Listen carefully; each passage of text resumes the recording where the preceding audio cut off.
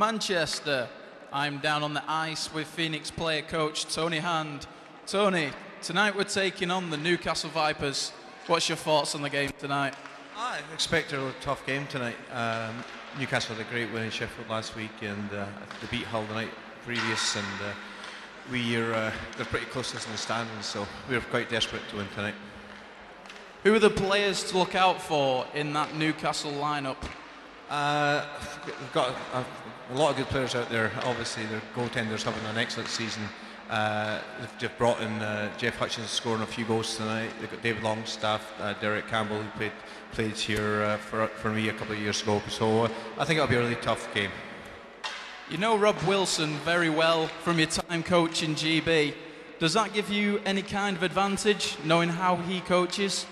Uh, not really. I think uh, we, we, know each other all these years, so uh, and we sort of know our teams pretty well. So I don't think it's a major advantage. No. Tony Hand, thank you very much.